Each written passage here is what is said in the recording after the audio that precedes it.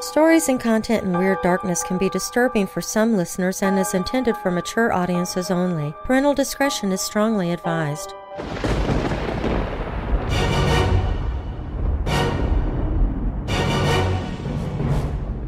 Welcome, Weirdos! I'm Darren Marlar, and this is Weird Darkness. Here you'll find stories of the paranormal, supernatural, legends, lore, the strange and bizarre, crime, conspiracy, mysterious, macabre, unsolved, and unexplained. Coming up in this episode, it's Thriller Thursday, and I have a short story from the master of horror himself, Stephen King. And then, after the story, be sure to stick around for a few additional thoughts that Stephen King gives about writing the story and what inspired him to write it. If you're new here, welcome to the show. While you're listening, be sure to check out WeirdDarkness.com for merchandise, to visit sponsors you hear about during the show, sign up for my newsletter, enter contests, connect with me on social media. Plus, you can visit the Hope in the Darkness page if you're struggling with depression or dark thoughts. You can find all of that and more at WeirdDarkness.com. Now, bolt your doors, lock your windows, turn off your lights, and come with me into the Weird Darkness.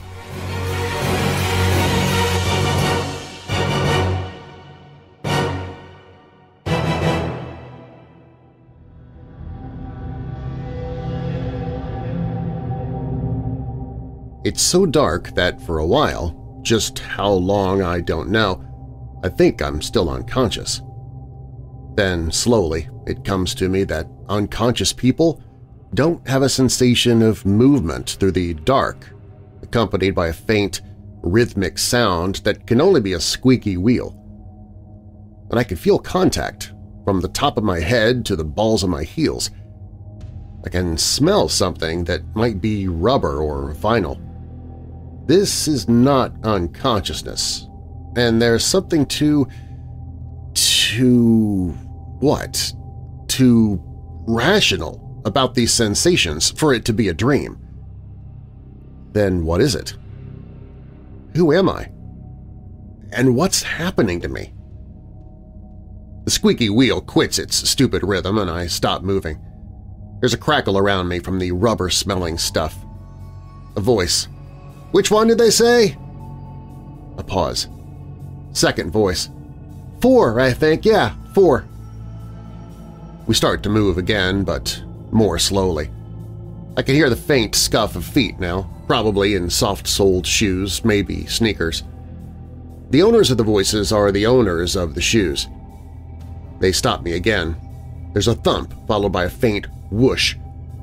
It is, I think, the sound of a door with a pneumatic hinge being opened. What's going on here? I yell. But the yell is only in my head. My lips don't move. I can feel them, and my tongue lying on the floor of my mouth like a stunned mole, but I can't move them. The thing I'm on starts rolling again. A moving bed? Yes, a gurney, in other words. I've had some experience with them, a long time ago in Lyndon Johnson's crappy little Asian adventure. It comes to me that I'm in a hospital, that something bad has happened to me, something like the explosion that almost neutered me 23 years before, and that I'm going to be operated on. There are a lot of answers in that idea, sensible ones for the most part, but I don't hurt anywhere. Except for the minor matter of being scared out of my wits, I feel fine. And if these are orderlies wheeling me into an operating room, why can't I see? Why can't I talk? A third voice. Over here, boys! My rolling bed is pushed in a new direction, and the question drumming in my head is what kind of a mess have I gotten myself into? Doesn't that depend on who you are? I ask myself. But that's one thing at least I find I do know. I'm Howard Cottrell. I'm a stockbroker, known to some of my colleagues as Howard the Conqueror.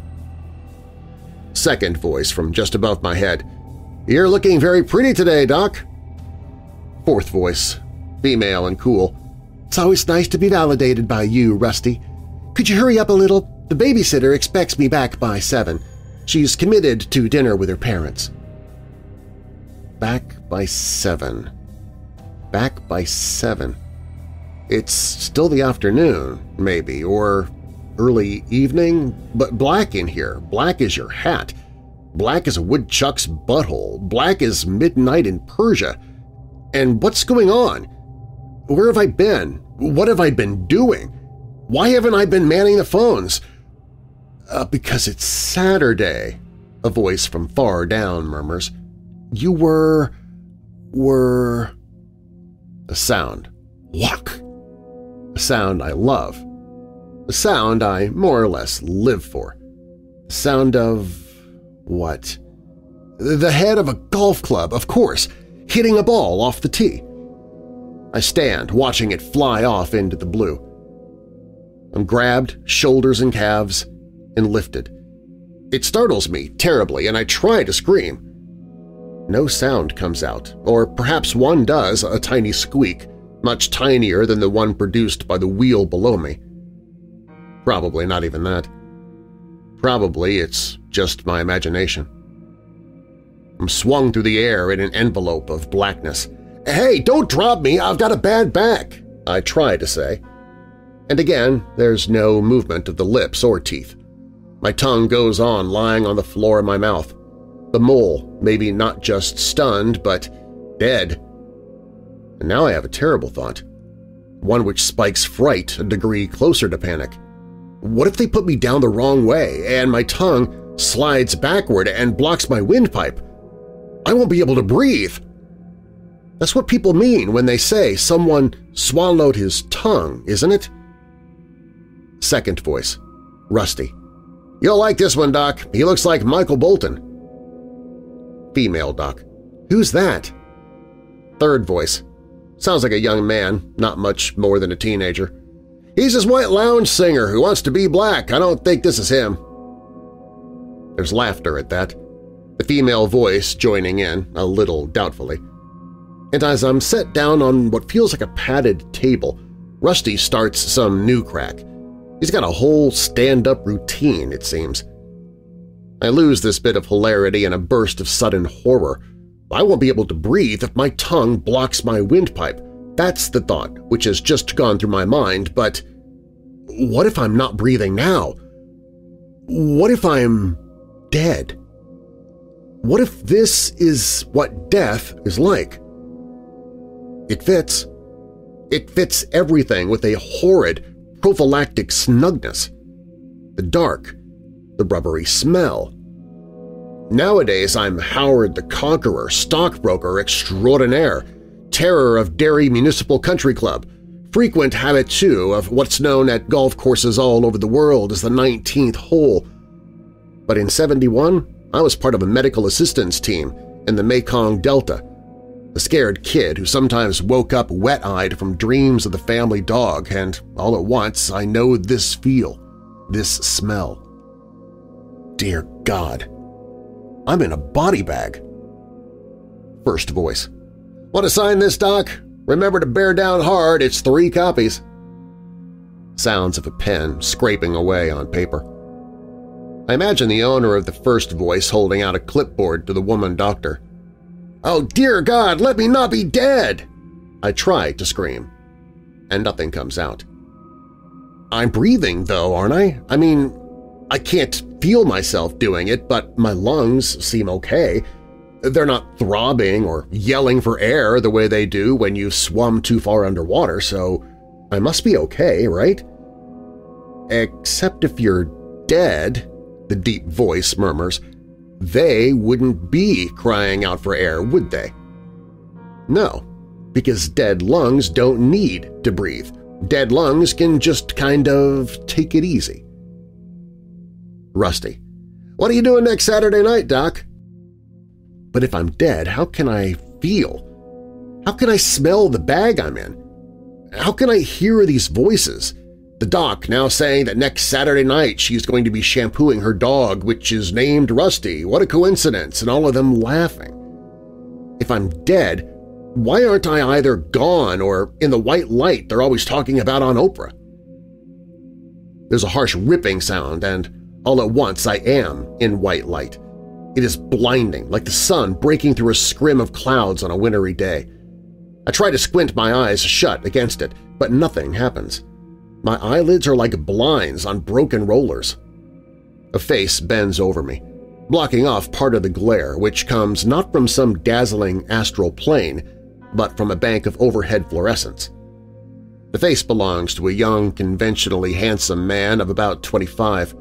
He looks like one of those beach beefcakes on Baywatch or Melrose Place.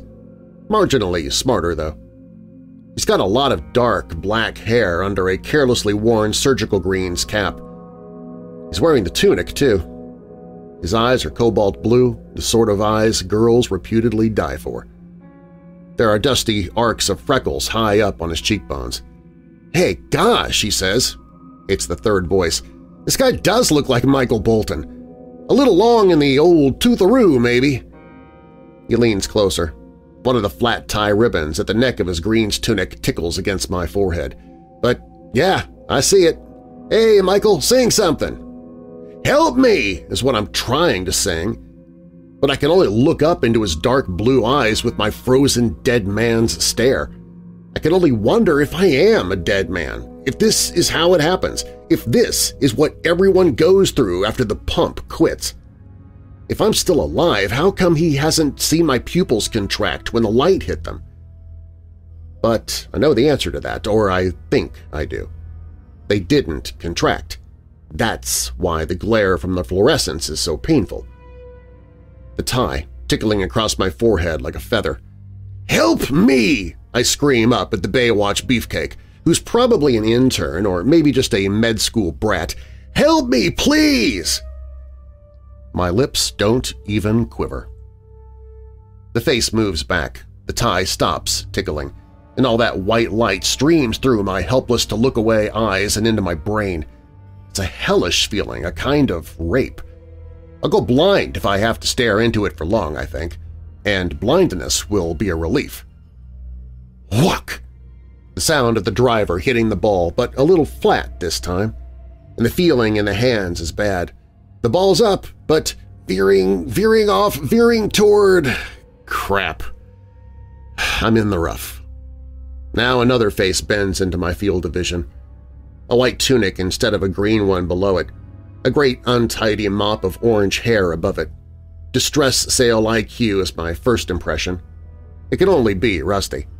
He's wearing a big dumb grin that I think of as a high school grin, the grin of a kid who should have a tattoo reading Born to Snap bra straps on one wasted bicep. "'Michael!' Rusty exclaims. "'Geez, you're looking good! This is an honor! Sing for us, big boy! Sing your dead head off!' From somewhere behind me comes the doc's voice, cool, no longer even pretending to be amused by these antics. "'Quit it, Rusty!' Then in a slightly new direction, "'What's the story, Mike?' Mike's voice is the first voice, Rusty's partner. He sounds slightly embarrassed to be working with a guy who wants to be Andrew Dice Clay when he grows up. Found him on the 14th hole at Derry Muni. Of course, actually in the rough. If he hadn't just played through the foursome behind him and if they hadn't seen one of his legs sticking out of the pucker brush, he'd be an ant farm by now. I hear that sound in my head again. Walk! Only this time it's followed by another far less pleasant sound. The rustle of underbrush as I sweep it with the head of my driver. It would have to be 14, where there is reputedly poison ivy.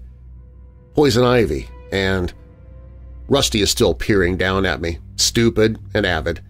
It's not death that interests him, it's my resemblance to Michael Bolton.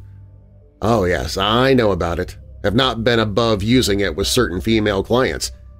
Otherwise, it gets old in a hurry and in these circumstances… Damn.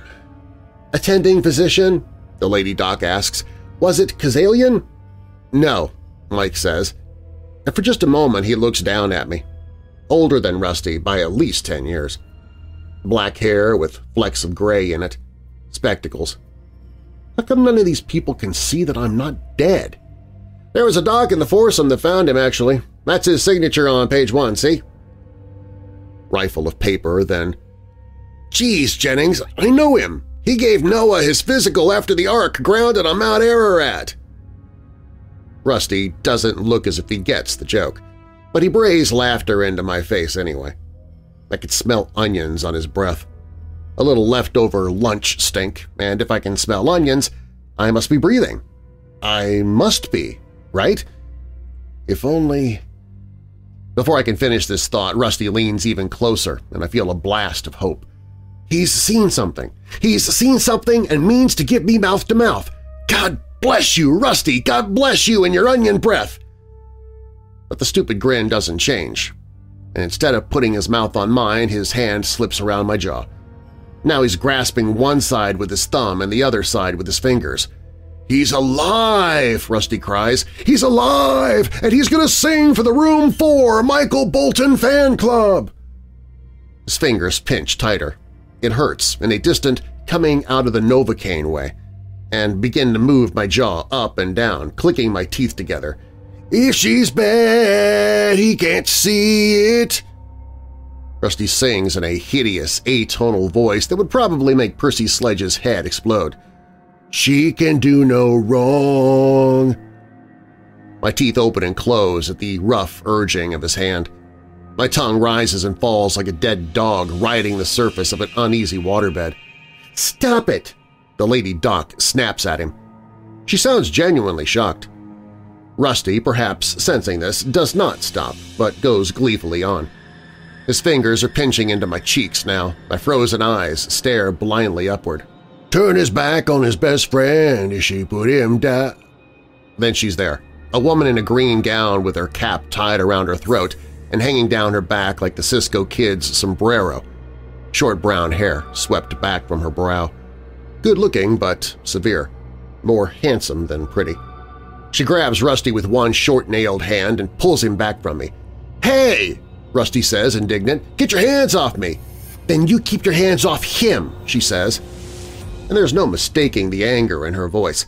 I'm tired of your sophomore class wit, Rusty, and the next time you start in, I'm going to report you. Hey, let's all calm down, says the Baywatch hunk, Doc's assistant. He sounds alarmed, as if he expects Rusty and his boss to start duking it out right there. Uh, let's just put a lid on it. Why should be such a jerk to me? Rusty says. He's still trying to sound indignant, but he's actually whining now. Then in a slightly different direction. Why you being such a witch? You on your period, is that it? Doc, sounding disgusted. Get him out of here. Mike.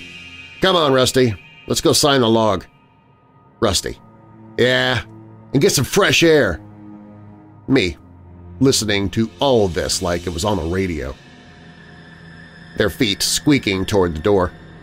Rusty now all huffy and offended, asking her why she doesn't just wear a mood ring or something so people will know. Soft shoes squeaking on tile. And suddenly that sound is replaced by the sound of my driver, beating the bush for my damn ball. Where is it? Didn't go too far in, I'm sure of it. So where is it? Ah, I hate 14. Supposedly there's poison ivy, and with all this underbrush there, it could easily be and then something bit me, didn't it? Yes, I'm almost sure it did. On the left calf, just above the top of my white athletic sock. A red-hot darning needle of pain, perfectly concentrated at first then spreading. Then darkness. Until the gurney, zipped up snug inside a body bag and listening to Mike. Which one did they say? And Rusty. Four, I think. Yeah, four. I want to think it was some kind of snake, but maybe that's only because I was thinking about them while I hunted for my ball. It could have been an insect. I only recall the single line of pain, and after all, what does it matter? What matters here is that I'm alive, and they don't know it. It's incredible, but they don't know it. Of course I had bad luck. I know Dr. Jennings remember speaking to him as I played through his foursome on the 11th hole. A nice enough guy, but vague and antique. The antique had pronounced me dead. Then Rusty, with his dopey green eyes and his detention hall grin, had pronounced me dead. The Lady Doc, Miss Cisco Kid, hadn't even looked at me yet. Not really. When she did, maybe... I hate that jerk, she says when the door is closed. Now it's just the three of us. Only, of course, Miss Cisco Kid thinks it's just the two of them. Why do I always get the jerks, Peter? I don't know, Mr. Melrose Place says. But Rusty's a special case, even in the annals of famous jerks. Walking brain death. She laughs and something clanks. The clank is followed by a sound that scares me badly, steel instruments clicking together. They're off to the left of me, and although I can't see them, I know what they're getting ready to do. The autopsy. They're getting ready to cut into me. They intend to remove Howard Cottrell's heart and see if it blew a piston or threw a rod. My leg! I scream inside my head. Look at my left leg! That's the trouble, not my heart! Perhaps my eyes have adjusted a little after all. Now I can see it. At the very top of my vision, a stainless steel armature. It looks like a giant piece of dental equipment, except that thing at the end isn't a drill. It's a saw. From someplace deep inside where the brain stores the sort of trivia you only need if you happen to be playing Jeopardy on TV, I even come up with the name. It's a Gigli saw. They use it to cut off the top of your skull. This is after they've pulled your face off like a kid's Halloween mask, of course, hair and all. Then they take out your brain. Clink, clink, clunk. A pause. Then a clank so loud I'd jump if I were capable of jumping. Do you want to do the pericardial cut? she asks. Pete, cautious. Do you want me to? Dr. Cisco, sounding pleasant, sounding like someone who is conferring a favor and a responsibility. Yes, I think so. All right, he says. You'll assist? Your trusty co-pilot, she says, and laughs. She punctuates her laughter with a snick-snick sound. It's the sound of scissors cutting the air. Now panic beats and flutters inside my skull like a flock of starlings locked in an attic. The Nam was a long time ago, but I saw half a dozen field autopsies there, what the doctors used to call tent show post-mortems, and I know what Cisco and Pancho mean to do. The scissors have long, sharp blades, very sharp blades, and fat finger holes. Still, you have to be strong to use them. The lower blade slides into the gut like butter, then snip up through the bundle of nerves at the solar plexus and into the beef jerky weave of muscle and tendon above it, then into the sternum. Then the blades come together this time, they do so with a heavy crunch as the bone parts in the rib cage pops apart like a couple of barrels which have been lashed together with twine.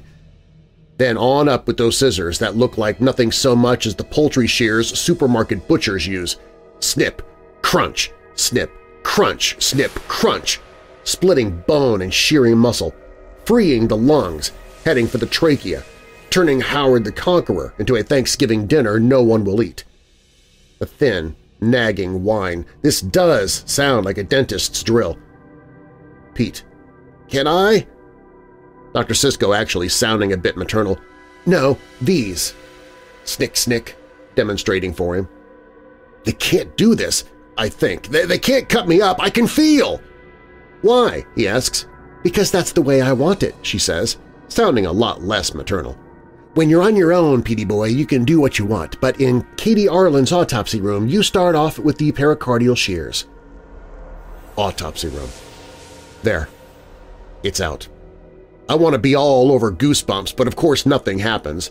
My flesh remains smooth.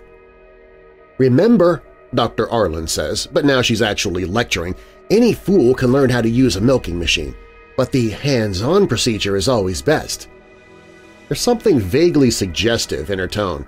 Okay? Okay, he says. They're going to do it. I have to make some kind of noise or movement, or they're really going to do it. If blood flows or jets up from the first punch of the scissors, they'll know something's wrong, but by then it will be too late. Very likely that first snip crunch will have happened, and my ribs will be lying against my upper arms, my heart pulsing frantically away under the fluorescence in its blood-glossy sac. I concentrate everything on my chest. I push, or try to, and something happens. A sound. I make a sound. It's mostly inside my closed mouth, but I can also hear and feel it in my nose. a low hum. Concentrating, summoning every bit of effort, I do it again, and this time the sound is a little stronger, leaking out of my nostrils like cigarette smoke. Mm. It makes me think of an old Alfred Hitchcock TV program I saw a long, long time ago where Joseph Cotten was paralyzed in a car crash and was finally able to let them know he was still alive by crying a single tear. And if nothing else, that minuscule mosquito whine of a sound has proved to myself that I'm alive, that I'm not just a spirit lingering inside the clay effigy of my own dead body. Focusing all my concentration, I can feel breath slipping through my nose and down my throat, replacing the breath I have now expended, and then I send it out again, working harder than I ever worked summers for the Lane Construction Company when I was a teenager, working harder than I ever worked in my life because now I'm working for my life and they must hear me. Dear God, they must! Mm-hmm. You want some music? The woman doctor asks. I've got Marty Stuart, Tony Bennett. He makes a despairing sound. I barely hear it and take no immediate meaning from what she's saying, which is probably a mercy.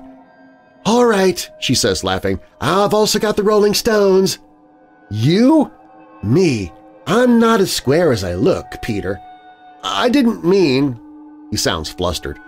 Listen to me! I scream inside my head as my frozen eyes stare up into the icy white light. Stop chattering like magpies and listen to me! I can feel more air trickling down my throat, and the idea occurs that whatever has happened to me may be starting to wear off. But it's only a faint blip on the screen of my thoughts. Maybe it is wearing off, but very soon now recovery will cease to be an option for me. All my energy is bent toward making them hear me, and this time they will hear me. I know it! Stones, then, she says, unless you want me to run out and get a Michael Bolton CD in honor of your first pericardial. Please no, he cries, and they both laugh. The sound starts to come out, and it is louder this time. Not as loud as I'd hoped, but loud enough. Surely loud enough. They'll hear. They must. Then, just as I begin to force the sound out of my nose like some rapidly solidifying liquid, the room is filled with a blare of fuzz-tone guitar and Mick Jagger's voice bashing off the walls. I know it's only rock and roll, but I like it.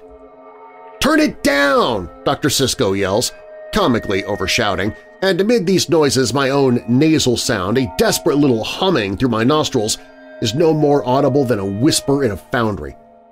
Now her face bends over me again, and I feel fresh horror as I see that she's wearing a Plexi eye shield and a gauze mask over her mouth. She glances back over her shoulder. I'll strip him for you, she tells Pete, and bends toward me with a scalpel glittering in one gloved hand, bends towards me through the guitar thunder of the Rolling Stones. I hum, desperately, but it's no good. I can't even hear myself. The scalpel hovers, then cuts. I shriek in my own head, but there is no pain, only my polo shirt falling in two pieces at my sides. Sliding apart, as my rib cage will after Pete unknowingly makes his first pericardial cut on a living patient. I am lifted. My head lolls back, and for a moment I see Pete upside down, donning his own plexi eye shield as he stands by a steel counter, inventorying a horrifying array of tools. Chief among them are the oversized scissors. I get just a glimpse of them, of blades glittering like merciless satin. Then I'm laid flat again and my shirt is gone. I'm now naked to the waist. It's cold in the room. "'Look at my chest!' I scream at her. "'You must see it rise and fall no matter how shallow my respiration is! You're an expert for crying out loud!' Instead, she looks across the room, raising her voice to be heard above the music. I like it, like it, yes I do, the Stones sing. And I think I'll hear that nasal idiot chorus in the halls of hell through all eternity. What's your pick, boxers or jockeys? With a mixture of horror and rage, I realized what they're talking about. Boxers, he calls back. Of course, just look at the guy. Jerk, I want to scream. You probably think everybody over 40 wears boxer shorts. You probably think when you get to be 40 you'll… She unsnaps my Bermudas and pulls down the zipper. Under other circumstances, having a woman as pretty as this, a little severe, yes, but still pretty, do that would make me extremely happy. Today, however, you lose, Petey boy, she says. Jockeys, dollar in the kitty. On payday, he says, coming over. His face joins hers. They look down at me through their plexi masks like a couple of space aliens looking down at an abductee. I try to make them see my eyes, to see me looking at them, but these two fools are looking at my undershorts. Ooh, and red, Pete says. A shving! I call them more of a wash pink, she replies. Hold him out for me, Peter. He weighs a ton. No wonder he had a heart attack. Let this be a lesson to you. I'm in shape, I yell at her. Probably in better shape than you. My hips are suddenly jerked upward by strong hands. My back cracks. The sound makes my heart leap. Sorry, guy, Pete says, and suddenly I'm colder than ever as my shorts and red underpants are pulled down. Ups-a-daisy once, she says, lifting one foot, and ups-a-daisy twice, lifting the other foot. Off come the mocks and off come the socks. She stops abruptly and hope seizes me once more. Hey, Pete? Yeah? Do guys ordinarily wear Bermuda shorts and moccasins to play golf in? Behind her, except that's only the source, actually it's all around us, the Rolling Stones have moved on to Emotional Rescue. I will be your knight in shining, ah man, Mick Jagger sings. And I wonder how funky he'd dance with about three sticks of high-core dynamite jammed up his skinny. If you ask me, this guy was just asking for trouble, she goes on. I thought they had these special shoes. Very ugly, very golf-specific, with little knobs on the soles. Yeah, but wearing them's not the law, Pete says. He holds his gloved hands out over my upturned face, slides them together, and bends the fingers back. As the knuckles crack, talcum powder sprinkles down like fine snow. At least not yet. Not like bowling shoes. They catch you bowling without a pair of bowling shoes, they can send you to state prison. Is that so? Yes. Do you want to handle temp and gross examination? No! I shriek. No, he's a kid! What are you doing? He looks at her, as if this same thought had crossed his own mind. That's, um, not strictly illegal, is it, Katie? I mean… She looks around as he speaks, giving the room a burlesque examination, and I'm starting to get a vibe that could be very bad news for me, severe or not. I think that Cisco, alias Dr. Katie Arlen, has got the hots for a PD with the dark blue eyes. Dear God, they've hauled me paralyzed off the golf course and into an episode of General Hospital, this week's subplot titled Love Blooms in Autopsy Room 4. Gee, she says in a hoarse little stage whisper, I don't see anyone here but you and me. The tape not rolling yet, she said, and once it is, I'm right at your elbow every step of the way. As far as anyone will ever know, anyway. And mostly I will be. I just want to put away those charts and slides. And if you really feel uncomfortable, yes! I scream up at him out of my unmoving face. Feel uncomfortable! Very uncomfortable! Too uncomfortable! But he's 24 at most, and what's he going to say to this pretty, severe woman who's standing inside his space, invading it in a way that can really only mean one thing? No, Mommy, I'm scared. Besides, he wants to. I could see the wanting through the plexi eye shield, bopping around in there like a bunch of overage punk rockers pop going to the Stones. Hey, as long as you'll cover for me if… Sure, she says. Gotta get your feet wet sometime, Peter, and if you really need me to, I'll roll back the tape. He looks startled. You can do that? She smiles. We have many secrets in autopsy room 4, mine Herr. I bet you do, he says, smiling back, then reaches past my frozen field of vision. When his hand comes back, it's wrapped around a microphone which hangs down from the ceiling on a black cord. The mic looks like a steel teardrop. Seeing it there makes this horror real in a way it wasn't before. Surely they won't really cut me up, will they? Pete is no veteran, but he has had training. Surely he'll see the marks of whatever bit me while I was looking for my ball in the rough, and then they'll at least suspect. They'll have to suspect. Yet I keep seeing the scissors with their heartless satin shine, jumped up poultry shears, and I keep wondering if I will still be alive when he takes my heart out of the chest cavity and holds it up, dripping in front of my locked gaze for a moment before turning to plop it into the weighing pan. I could be, it seems to me. I really could be.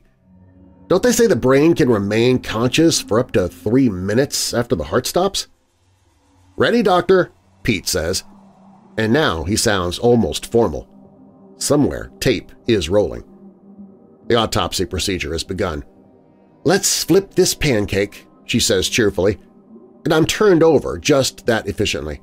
My right arm goes flying out to one side and then falls back against the side of the table, banging down with the raised metal lip digging into the bicep. It hurts a lot. The pain is just short of excruciating, but I don't mind. I pray for the lip to bite through my skin, pray to bleed, something bona fide corpses don't do. Whoops-a-daisy, Dr. Arlen says. She lifts my arm up and plops it back down at my side. Now it's my nose I'm most aware of. It's smashed against the table, and my lungs for the first time send out a distress message, a cottony, deprived feeling. My mouth is closed, my nose partially crushed shut. Just how much I can't tell. I can't even feel myself breathing, not really. What if I suffocate like this? Then something happens which takes my mind completely off my nose. A huge object. It feels like a glass baseball bat is rammed rudely up my rectum. Once more I try to scream and can produce only the faint, wretched humming. Temp in, Peter says. I've put on the timer. Good idea, she says, moving away, giving him room. Letting him test drive this baby, letting him test drive me. The music is turned down slightly. Subject is a white Caucasian age 44, Pete says, speaking for the mic now, speaking for posterity. His name is Howard Randolph Cottrell. Residence is 1566 Laurel Crest Lane here in Derry. Dr. Arlen at some distance. Mary Mead. A pause, then Pete again, sounding just a tiny bit flustered. Dr. Arlen informs me that the subject actually lives in Mary Mead, which is split off from Derry, in Enough with the history lesson, Pete. Dear God, what have they stuck up my butt? Some sort of cattle thermometer? If it was a little longer, I think, I could taste the bulb at the end, and they didn't exactly go crazy with the lubricant. But then why would they? I'm dead, after all. Dead. Sorry, Doctor, Pete says. He fumbles mentally for his place and eventually finds it. This information is from the ambulance form, originally taken from a Maine state driver's license. Pronouncing doctor was, um, Frank Jennings. Subject was pronounced at the scene. Now it's my nose that I'm hoping will bleed. Please, I tell it, bleed! Only don't just bleed, gush! It doesn't. Cause of death may be a heart attack, Peter says. A light hand brushes down my naked back to the crack of my ass. I pray it will remove the thermometer, but it doesn't. Spine appears to be intact, no attractable phenomena. Attractable phenomena? Attractable phenomena? What the heck do they think I am, a bug light? He lifts my head, the pads of his fingers on my cheekbones, and I hum desperately. Mmm! Knowing that he can't possibly hear me over Keith Richards' screaming guitar, but hoping he may feel the sound vibrating in my nasal passages. He doesn't. Instead, he turns my head from side to side. No neck injury apparent, no rigor, he says, and I hope he'll just let my head go, let my face smack down onto the table. That'll make my nose bleed. Unless I really am dead. But he lowers it gently, considerately, mashing the tip again and once more making suffocation seem a distinct possibility. No wounds visible on the back or buttocks, he says, although there is an old scar on the upper right thigh that looks like some sort of wound. Shrapnel, perhaps. It's an ugly one. It was ugly, and it was shrapnel. The end of my war.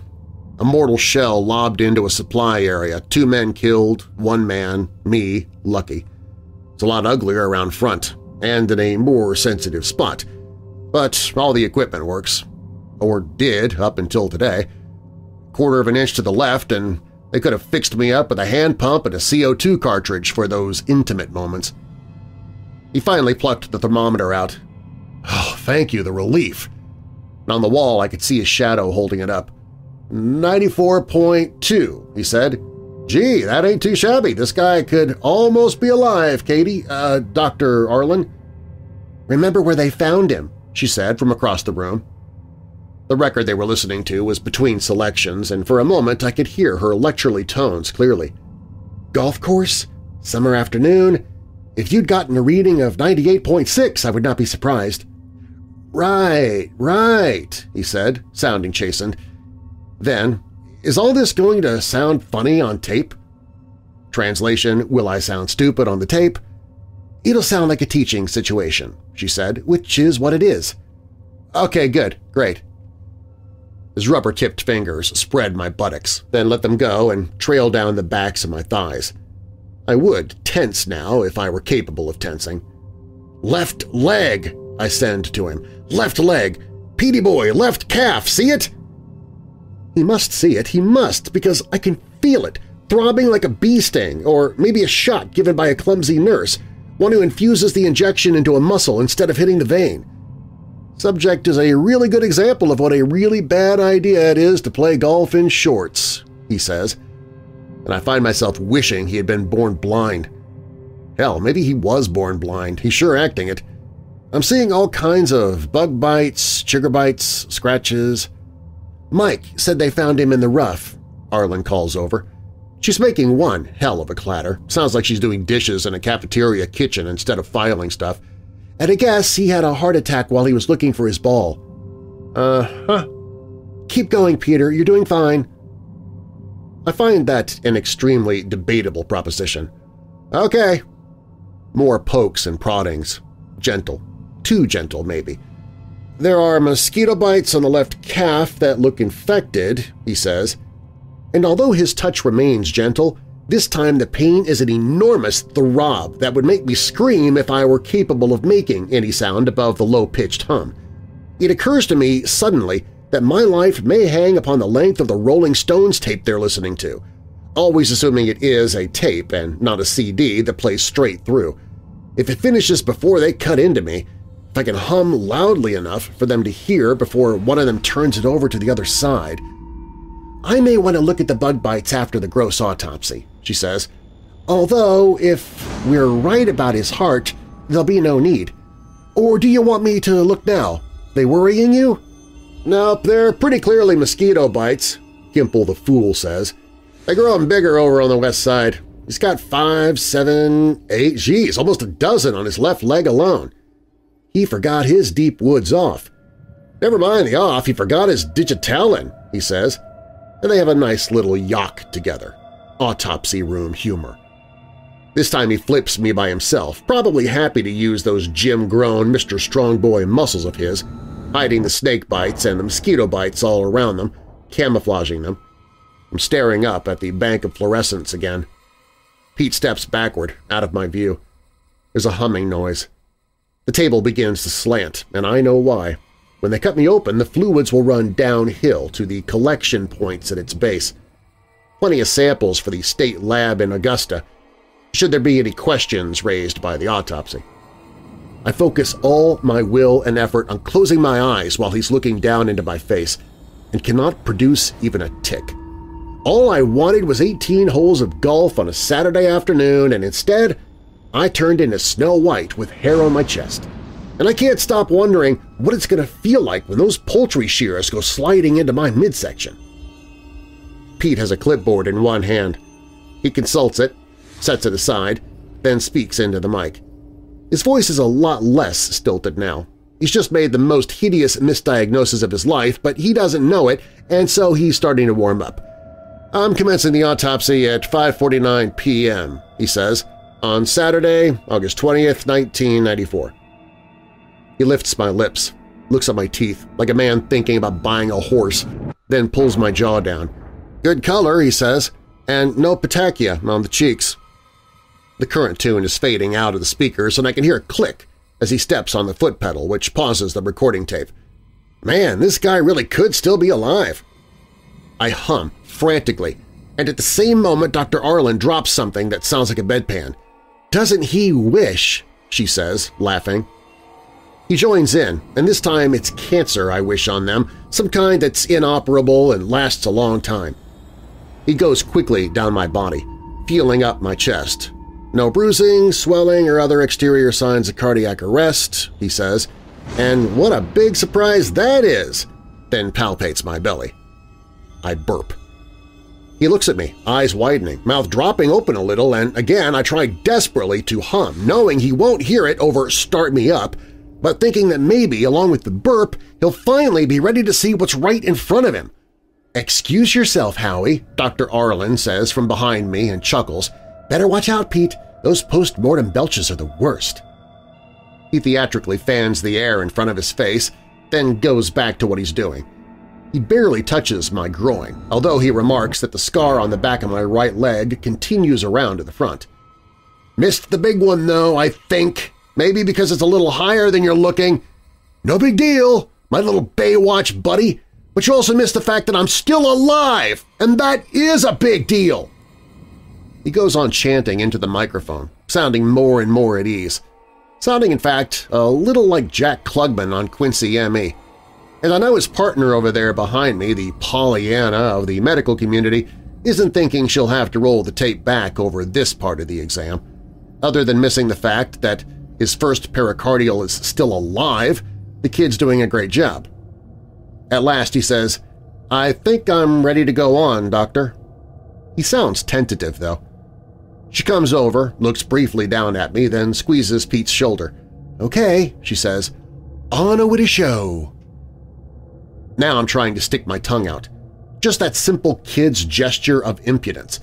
But it would be enough, and it seems to me I can feel a faint prickling sensation deep within my lips, the feeling you get when you're finally starting to come out of a heavy dose of Novocaine. And I can feel a twitch? No, wishful thinking, just yeah, yes, yes! But a twitch is all, and the second time I try, nothing happens.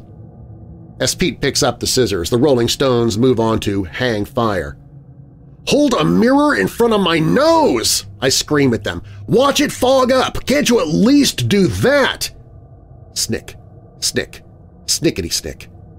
Pete turns the scissors at an angle so the light runs down the blade and for the first time I'm certain, really certain, that this mad charade is going to go all the way through to the end. The director isn't going to freeze the frame. The ref isn't going to stop the fight in the 10th round. We're not going to pause for a word from our sponsor. Petey Boy's going to slide those scissors into my gut while I lie here helpless, and then he's going to open me up like a mail-order package from the Horchow collection. He looks hesitantly at Dr. Arlen. No! I howl, my voice reverberating off the dark walls of my skull, but emerging from my mouth, not at all. No! Please, no! She nods. Go ahead, you'll be fine. Um, you want to turn off the music? Yes, yes, turn it off! Is it bothering you? Yes, it's bothering him! It screwed him up so completely he thinks his patient is dead! Well, sure, she says, and disappears from my field of vision. A moment later, Mick and Keith are finally gone. I try to make the humming noise and discover a horrible thing. Now I can't even do that. I'm too scared. Fright has locked down my vocal cords. I can only stare up as she rejoins him, the two of them gazing down at me like pallbearers looking into an open grave. Thanks, he says. Then he takes a deep breath and lifts the scissors, commencing pericardial cut. He slowly brings them down. I see them. Then they're gone from my field of vision. A long moment later I feel cold steel nestle against my naked upper belly. He looks doubtfully at the doctor. Are you sure you don't… Do you want to make this your field or not, Peter? she asks him with some asperity. You know I do, but then cut. He nods, lips firming.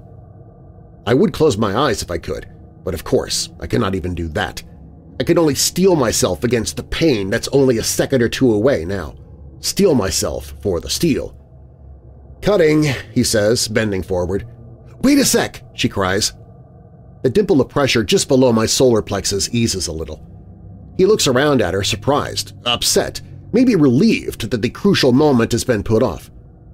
I feel her rubber-gloved hand slide around my penis as if she meant to give me some bizarre hand job, safe sex with the dead, and then she says, You missed this one, Pete. He leans over, looking at what she's found.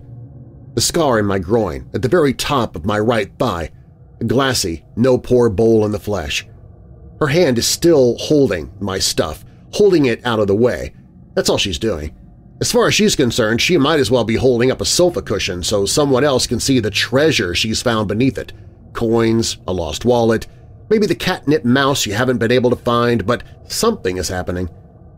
Dear wheelchair Jesus on a chariot-driven crutch, something is happening! And look, she says. Her finger strokes a light, tickly line down the side of my right testicle. Look at these hairline scars. His testes must have swollen up to damn near the size of grapefruits. Lucky he didn't lose one or both. You bet your you knows, she says, and laughs that mildly suggestive laugh again. Her gloved hand loosens, moves, then pushes down firmly, trying to clear the viewing area. She is doing by accident what you might pay 25 or 30 bucks to have done on purpose. Under other circumstances, of course. This is a war wound, I think. Hand me that magnifier, Pete. But shouldn't I, in a few seconds, she says, he's not going anywhere. She's totally absorbed by what she's found. Her hand is still on me, still pressing down, and what was happening feels like it's still happening, but maybe I'm wrong. I must be wrong. Or he would see it. She would feel it. She bends down, and now I can see only her green-clad back, with the ties from her cap trailing down it like odd pigtails. Now, oh my, I could feel her breath on me down there. Notice the outward radiation, she says. It was a blast wound of some sort, probably ten years ago at least. We could check his military rec. The door bursts open. Pete cries out in surprise. Dr. Arlen doesn't, but her hand tightens involuntarily. She's gripping me again, and it's all at once like a hellish variation of the old naughty nurse fantasy. "'Don't get him up!' someone screams, and his voice is so high and wavery with fright that I barely recognize Rusty. "'Don't cut him up! There was a snake in his golf bag, and it bit Mike!' They turn to him, eyes wide, jaws dropped. Her hand is still gripping me, but she's no more aware of that, at least for the time being, Van Petey Boy is aware that he's got one hand clutching the left breast of his scrub gown. He looks like he's the one with the clapped-out fuel pump. "'What… what are you…' Pete begins. "'Knocked him out flat!' Rusty was saying, babbling. "'He's gonna be okay, I guess, but he can hardly talk. Little brown snake, I never saw one like it in my life. It went under the loading bay. It's under there right now, but that's not the important part. I think it already bit that guy we brought in. I think… Holy crap, Doc! What you trying to do? Stroke him back to life? She looks around dazed, at first not sure of what he's talking about, until she realizes she's now holding my mostly erect junk. And as she screams and snatches the shears out of Pete's limp, gloved hand, I find myself thinking again of that old Alfred Hitchcock TV show. Poor old Joseph Cotten, I think. He only got to cry.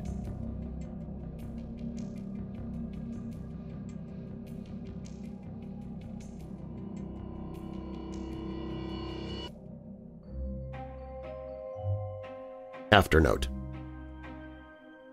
It's been a year since my experience in Autopsy Room 4, and I've made a complete recovery, although the paralysis was both stubborn and scary. It was a full month before I began to get back the finer motions of my fingers and toes. I still can't play the piano, but then of course I never could. That's a joke. I make no apologies for it. I think that in the first three months after my misadventure, my ability to joke provided a slim but vital margin between sanity and some sort of nervous breakdown. Unless you've actually felt the tip of a pair of post-mortem shears poking into your stomach, you don't know what I mean. Two weeks or so after my close call, a woman on DuPont Street called the Derry police to complain of a foul stink coming from the house next door. That house belonged to a bachelor bank clerk named Walter Kerr. Police found the house empty, of human life, that is. In the basement they found over 60 snakes of different varieties.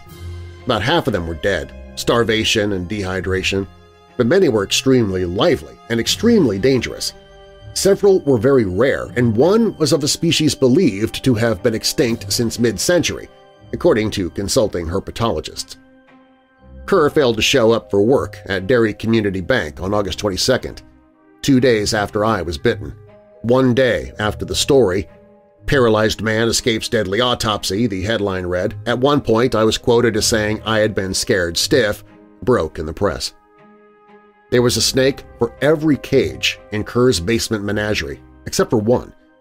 The empty cage was unmarked, and the snake that popped out of my golf bag, the ambulance orderlies had packed it in with my corpse and had been practicing chip shots out in the ambulance parking area, was never found. The toxin in my bloodstream, the same toxin found to a far lesser degree in orderly Mike Hopper's bloodstream, was documented but never identified. I've looked at a great many pictures of snakes in the last year and have found at least one which has reportedly caused cases of full-body paralysis in humans. This is the Peruvian boomslang, a nasty viper which has supposedly been extinct since the 1920s. DuPont Street is less than a half mile from the Derry Municipal Golf Course. Most of the intervening land consists of scrub woods and vacant lots. One final note, Katie Arlen and I dated for four months, November 1994 through February of 1995. We broke it off by mutual consent due to sexual incompatibility. I was impotent. Unless she was wearing rubber gloves.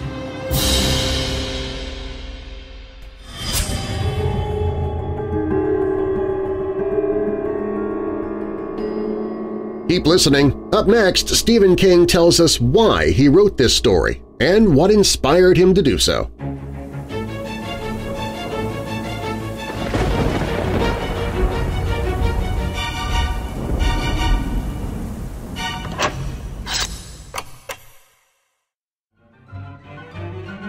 Terror began in January by the light of the full moon.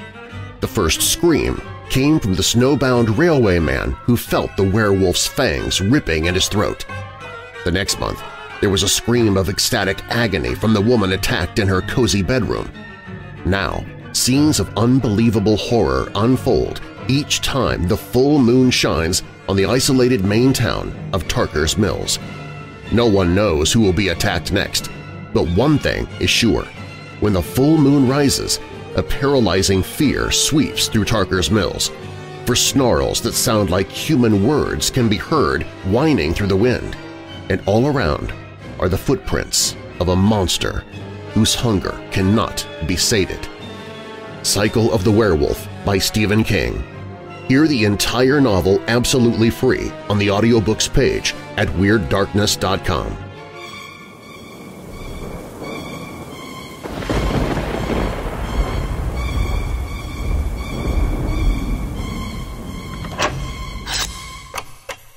In the book Everything's Eventual, the horror anthology that Autopsy Room 4 is from, Stephen King includes a note at the end of the story which I found interesting, and I thought you might as well.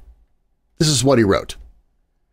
At some point, I think every writer of scary stories has to tackle the subject of premature burial, if only because it seems to be such a pervasive fear. When I was a kid of seven or so, the scariest TV program going on was Alfred Hitchcock Presents, and the scariest Alfred Hitchcock Presents, my friends and I were in total agreement on this, was the one starring Joseph Cotten as a man who has been injured in a car accident. Injured so badly, in fact, that the doctors think he's dead. They can't even find a heartbeat. They're on the verge of doing a post-mortem on him, cutting him up while he's still alive and screaming inside, in other words, when he produces one single tear to let them know he's still alive. That was touching. But touching isn't in my usual repertoire. When my own thoughts turned to this subject, a more, shall we say, modern method of communicating liveliness occurred to me, and this story was the result. One final note. Regarding the snake, I doubt like hell if there's any such reptile as a Peruvian boomslang, but in one of her Miss Marple capers, Dame Agatha Christie does mention an African boomslang. I just liked the word so much. Boomslang, not African. I had to put it in the story.